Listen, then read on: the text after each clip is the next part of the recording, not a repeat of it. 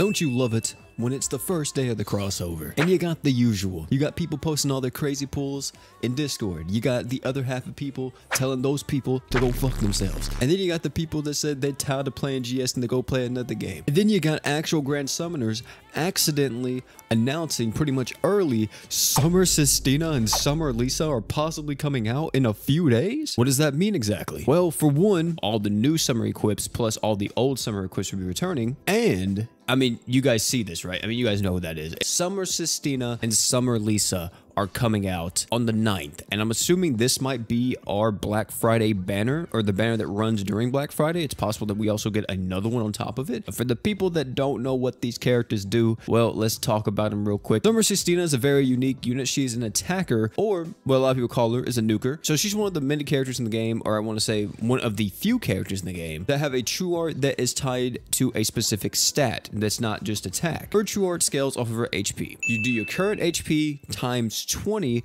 and that gives you your true art percentage. This character is uh is quite something. There's a Dungeon Trials floor that you can actually really abuse Summer Sistina on. I forgot which one it is. You have to fight the dragon or the bird first and then, you know, you get like a huge HP buff and then the next floor you can just like one shot the boss like it's nothing. But yeah, this is a very unique character where she is really good and she's a very strong nuker. But it's weird because you have to actually factor in like all stats up equips and everything. I guess to really get the most out of her because you want as much HP as possible. But at the same time, you also need to leverage like arch damage buffs, physical resist downs, and all that to really make sure she's hitting as hard as possible. Definitely a very different direction than that of Sistina and even that of Light Sistina. If you get her, you probably will have a lot of fun with her and you probably use her a lot. And I mean, hey, you know, prime waifu material. Am I right, ladies and gentlemen? But then we have the other character, and that is the girl Summer Lisa. To put it simple, this girl is practically the best magic supporter in the game at the moment. If you're running a magic team, you're probably going to be using Summer Lisa at some point. She's a very strong character. So yeah, with this character, I don't want to say she's necessarily a must summon, but for some people, it's definitely a character that they will really want for, you know, magic nukes, for magic teams, especially if they don't have someone like Santa Rimuru, which I guess I will say in the comparison scheme, if you already have someone like Santa Rimuru, I don't guess you really need someone like Summer Lisa Lisa because they're not